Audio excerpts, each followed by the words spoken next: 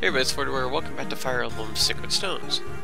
So, we're still in the pursuit of Lyon after last part, and we are going to be going further towards the Darkling Woods, and this will bring us to Mount um, Nelaris. Nelaris. So, the game already says, yeah, there's Gorgon eggs here, so that's going to be a very unique chapter because we have not seen Gorgons or Gorgon eggs up to this point. Chapter 18, Two Faces of Evil. Implying Lyon's two-faced nature of Dr. Jekyll and Mr. Hyde at this point, most likely, because, as we know, he uh, he's fully corrupted. And of course, Eirika can't seem to grasp it because it's her friend. This can't be happening to her, to him. Oh, but yes, it is. And Rachel tries to drum through her mind that you have to let it go. You can't win. But of course, we are the protagonists, so therefore we must achieve the impossible because that's how protagonists always work. Against all odds, save everybody, and go from there. Yeah, um... Clearly L'Arachel is gonna say, no you can't. I like L'Arachel when she's actually serious for once, and clearly she's completely serious here. Unfortunately, Eirika can't grasp it. She's, uh, she's a denier, I guess we can say. She wants to believe in a miracle, but the miracle is just not going to happen. I mean, she just saw with her own eyes. That, yeah, that Lyon is dead. He ain't come back. He, and he even got, you know, and the Demon King taunted her, saying, yeah, he's mine now. He ain't come back. You think he's just gonna, out of his leniency, say, oh, yeah, fine, here, take him back. Bitch, please. Ain't gonna happen. So anyway, in this chapter, this map, there are a ton of eggs. That's right. Gorgon eggs, to be exact. Gorgons are the updated version of those um, floating eyes, the Mogalls. As you see, they all have 5 HP and they all have various HP to start. You have a few monsters here, nothing crazy, and you have a couple Gorgons themselves. They have Demon Surges, which are pretty damn powerful, and they also have the bolting version known as Shadow Shot. And yes, Gorgons can use stone. Some of them have a, the equipment of stone. Stone you would think may be insanely powerful. The reality is, it's just basically sleep, honestly. You're turned to stone for a few turns, and it's not particularly accurate either, so... Of course, they do, uh, the checking factor is your resistance, not your defense, so physical units could be susceptible to being turned to stone for a few turns. Yeah, I said a few turns. The stone wears off. Crazy enough. And I turned Cormag into a Wyvern Lord, so more traditional evolution for um, a Wyvern Rider. And it's to work out, because he's just really powerful at this point. Wyvern Lords tend to have better um, caps, um, max stats than um, a Wyvern Knight can, of course, they don't have that ability, and they can use swords, which is nice. So, the way this chapter works. This chapter is great. You know why? Because it's rather easy, and you get a ton, ton, ton of experience doing this. But you see the catch right there is if you leave them unmolested, they will, as you approach them, they will start to hatch. They gain 5 HP every turn, and then once they max out, they'll come to life, and will start trying to make your life miserable. Of course, they're not that difficult, and the eggs themselves are defenseless. And every egg you kill gives you 50 experience no matter who does the killing. So if you have evolved units that are struggling to get experience to begin with, guess what? Merry Christmas, you filthy animal! So it doesn't matter who gets the kill. Seth, Cormag, Tana, Innes, Myrrh, yeah, actually, I'd say at this point using Myrrh would be a waste. Not even a good idea. It'd be kind of a, it'd be kind of a waste. You might want to have her just destroy the um, Gorgons themselves, because the Gorgons will give you pretty good experience too. But you can take full advantage of this, and because they're defenseless, you don't have to worry about any reprisal. There is one other trick to this chapter, though, and it actually has to do with those red stones you see there. Not the land not the red land, but those little red spots there. Those are lava plumes. They were prevalent in previous Fire Emblem games. I believe both GBA games actually had them. You stood on them, and the plume went up, you took 10 HP damage. And of course, enemies could fall in that trap too. But that Gorgon met his end, and Eirika gets a fantastic level, so that works out great. So, the best way to really approach this chapter is just to get everything quick, get everything done quick, so that you don't have to worry about the eggs hatching and then dealing with more enemies as a result. And by having flying units and mounted units, this will be done with ease. Tana, Cormag in particular, are, and Vanessa are going to all benefit off this greatly. And of course, you know, Seth, Ephraim, Eirika, yeah, they got great movement now. Yeah, Ephraim and Eirika have great movement now too, thanks to their mounts. Lute, they're, they're all going to benefit greatly. And those eyeballs, those Mogalls, they're a joke. Honestly, they'll give you no really no experience, and you probably kill them in one shot. They're that pathetic. Even that boss Gorgon's not exactly scary. I mean, the stone could be, I guess, but I wouldn't exactly fret over it. And if you leave them, and if you leave the eggs alone for too long, they will eventually start to hatch. You don't have to necessarily approach them, I don't think. They just simply wait till turn X before they start going. And we have the B support here for Innes and Vanessa. Kind of feels like an A to an extent, but there's more. So, as I said before, Innes and Vanessa. Uh, Vanessa is very unique to Innes because Innes doesn't have to pull that foolhardy, prideful, not a male tsundere nonsense, and because he deeply respects Vanessa. And of course, Vanessa actually cares about Innes deeply.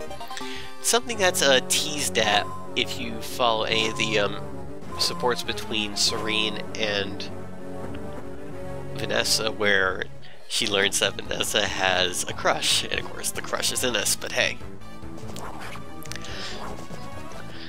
It's just it's just basically them flattering each other, just saying, just complimenting each other throughout. Not really, you know, meaningful there, other than maybe gaining Innes's respect, which in of itself is next to impossible, as we've seen thus far. that's kind of it. I mean, I, I love I love this. Just if you're if you want somebody to experience this, is the chapter to do it. So Cormag just evolved, and of course Seth could use a little bit of experience too, because I really haven't given him much love. You sort of just been the um, break in case of emergency. Well, you don't have to worry about that. This really just feels like a bonus level, to be honest. It does. Is there danger here? Of course there is, but let's be real here the eggs aren't going to hatch, generally speaking. Oh yeah, and Myrrh does bonus damage to undead, and as you see, completely thrashed that Gorgon. And of course, because Manaketes get great levels, no different there. So yeah, is there really danger here? Eh. On this difficulty? Probably not. On a hard difficulty? I don't believe so either. I don't remember, it's been a while since I've done this on hard, but I don't remember this being particularly difficult no matter what. Just as long as you get people over there to beat things up, you're good.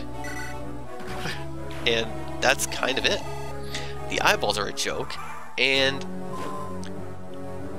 I really, I got, I, it just amazes me. I, I think I'm missing something here on Stone. I gotta check, because I think, when I think of Stone, I think of something way more heinous than that, like maybe if you return to stone and you get attacked again, you could be instantly killed or something? I don't know. But I always thought, you know, petrification, one of the worst things ever in any RPG. Here, it's just like, from what I've seen, it's just sleep. Not exactly what I would look for. So really, it's, it's kind of just a joke with all these weak enemies and just, you know, basically breaking the break in piggy banks of experience for all intents and purposes. And that's the lead Gorgon going down, and there you go. We are pretty much all set. We do have to destroy every enemy here, so, you know, there is that. Gerik doesn't get a good level again. He did. He doesn't get much in the way of levels, but when you consider where he starts out with, who cares? And yeah, I give the Lords a little bit of extra work because they are the Lords. They need it. Eric in particular benefited greatly. I mean, two excellent levels. This chapter definitely can go with that. Oh yeah, and Tana gets another level. And as you see, she's becoming blindingly fast. And with 39 HP, she's also pretty tough to beat. Of course, you, as you see the defense, uh, like it, like I said, defense will never be a big, um, a big thing for Tana or Vanessa, but kind of advantage I think to go Wyvern Knight instead of uh, Falcon Knight, as you get better physical defense as a result.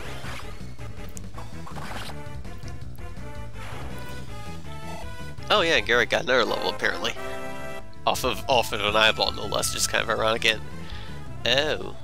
Oh. Oh. Yeah. Not a good level there either.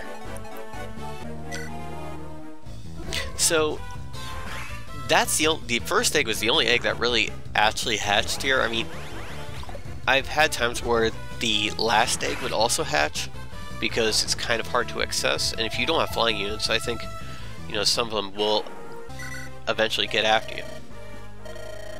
Oh yeah, and uh, B support for Ephraim and Tana here, where it becomes abundantly clear that Ephraim pays no attention to Tana and doesn't understand her at all. Although in fairness, I kind of see both sides here because, yeah, um, and this basically just was a giant pain in the ass the whole time. You came here, here, we need to deal, we need to sell this now. Best one, best two out of three, best three out of five, best four out of seven, whatever it will. And then of course Tana storms off in the hut because that's the way she is. because, yeah. Of course, I, I still think Ephraim is clearly oblivious here. If it was, you know, do you really need, do you really need like a neon sign or someone says, hey, Tana's interested in you? Nah, you don't really need that. It doesn't take rocket science here. And even though I said it was a waste, I did actually give Myrrh the, um, the kill there. She actually credited that one too, which is, which is crazy. But with that, it's time to go to the end of this chapter and witness the great blunder of Eirika. That's right. this is La Folly of all follies. Where Eirika falls for the, this maybe the second oldest trick in the book, next to uh, Made You Look. Seriously, this is this is pathetic. If I if I was if there was actually like a dub going on here or something like that, it probably would be the most wooden dub and actually make sense to me. But if I had the power of a sacred stone, I could save my soul. Really? Um, yeah. This was the same Lyon who we said last year. I'm done. I'm far too far gone. L'Arachel said it. Lyon said it. And even the demon and even the demon king himself said it too. But no, Eirika has to do this because she's an idiot. You fool! So, yep. She fell for the trick. The Stone of Renais is going to be destroyed. Great job, Eirika. You freaking moron if there's one bright side to this, I would say it's that they actually subverted the whole concept of the protagonist cause you know making the impossible possible. Oh yeah, no one's been able to do it except for this legend here. You'd have to be something extraordinary. Yeah, but I'm the protagonist, so therefore it's possible. Nope. So uh, yeah, I guess credit to the game for actually subverting that trope. When you see I'm going to show Ephraim's um, Ephraim's story at the end of this LP, but when you do, it's gonna, you're going to see how different it is compared to this. and really it just kind of shows how Eirika really, really looks so stupid here. It, unspeakably stupid. But that's that. Now we have to go to Rausten to get the final Sacred Stone. So, with that in mind, that's going to end this part, and next chapter is going to be a doozy. See you guys then. 40 Warriors signing off.